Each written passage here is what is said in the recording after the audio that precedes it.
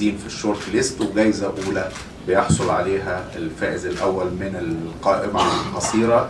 السنة دي بنعلن النهارده فتح باب التقدم آه، للجائزه ال- اللي هيبدأ في آه، مايو القادم في 21 مايو. هنبدأ يوم آه، مختلف يعني عن ذكرى آه، ميلاد نجم لأنه هيوافق يوم جمعة.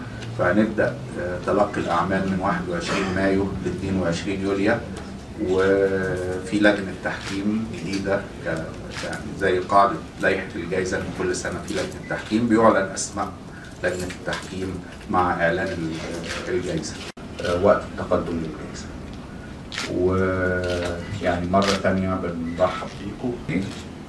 والحقيقة أنا مبسوط قوي بالجائزه دي لأن على الأقل إحنا بنيجي كده في بالنا إن كل سنة نفتكره يعني وكده. هو ظاهرة آه، جت مرة وما أعرفش بقى إذا كان هيجي تاني. إحنا أملنا من الجائزه دي إن بالفعل نشوف آه، آه، يعني شخصيات تطلع من الشباب تبقى أحمد فؤاد نجم الجديد يعني. وده هو ده اللي هيبقى بعث روحه ومصريته وجماله الداخلي يعني كله.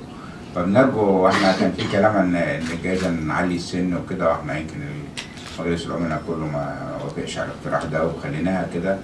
وانتوا شفتوا السنة اللي فاتت يعني شباب الحقيقة كان مشرف جدا كسب ال- ال- الجائزه ونرجو السنة دي بقى إن نكتشف ناس تانية وإن الجائزه دي تبقى دافع إن يبقى دايما مصر إن تثبت المصري خلاقة ولاده وإن في آه، لأن أنتوا كلنا بنشوف كده في ناس كتير بتقول يعني إن إحنا بنشوف العظماء اللي قدام دول كلهم بيروحوا وما بنشوفش حاجات جديدة. طالعه فنرجو إن ده يكون باعث اننا نؤكد على إن مصر ولادة وخاصة في الشباب آه، جديد ويطلع بروح جديدة ونكمل المشوار وأشكركم تاني على وقتكم وعلى مجيئكم ودي ودي مشكلة كبيرة جدا. يعني فعلا إحنا هنعمل كل جهدنا السنة دي نزود الدعاية آه، لكن هو ده دور الإعلام وعشان كده إحنا يعني بنفكر في مؤتمر صحفي زي ده يعني فعلا وصول الفكرة دي إلى آه، إلى كل آه، أنحاء القاهرة وهي كبيرة جدا. وبعدين الأقاليم ده مهم جدا.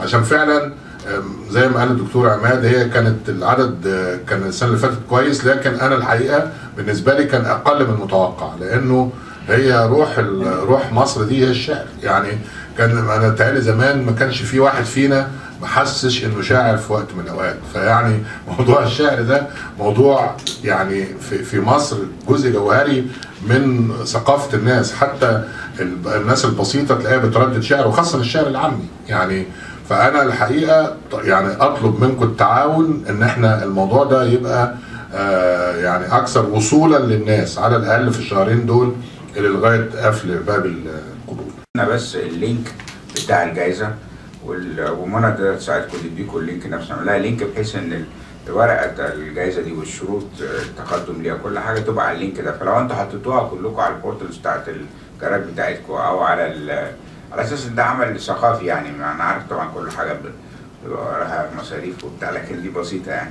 فلو ممكن هو بالنسبة لل ON TV كمان والمصري اليوم والجرايد كلها لو يحطوها على ال portals بتاعتهم وبالنسبة